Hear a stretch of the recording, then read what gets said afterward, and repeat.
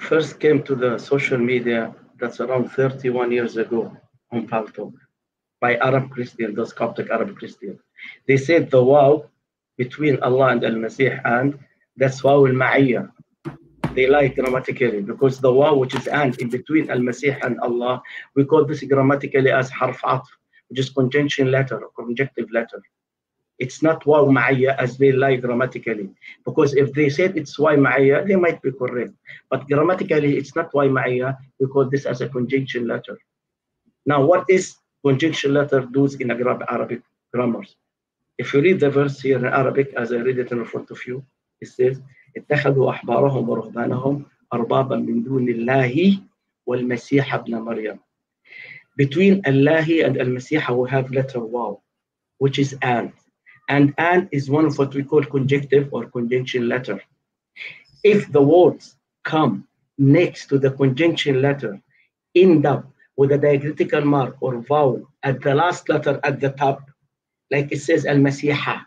So al-masiha should refer grammatically to the word that end up with a diacritical mark vowel at the top, not below.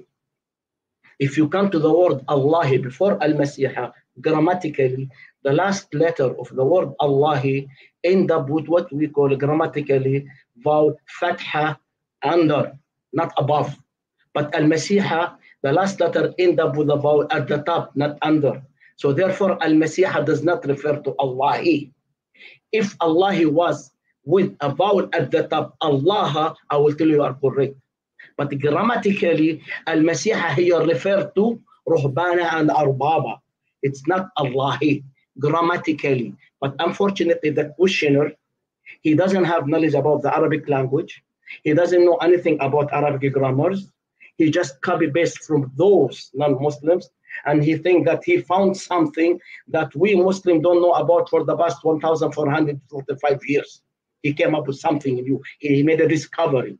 So this is the answer for you. Please, next time, don't come and make fool of yourself without knowing Arabic language or having knowledge about the Arabic grammar. Now I will have a question for you in return to see if your level is good or not.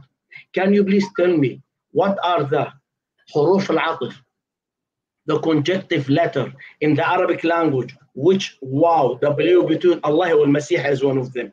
Please tell me. Grammatically, what are those? Uh, so Christian, you will have uh, a minute or so. I can give you like minute, couple of seconds plus, and so forth to answer uh, what has Aladdin just mentioned to you and the audience. So go ahead, Christian.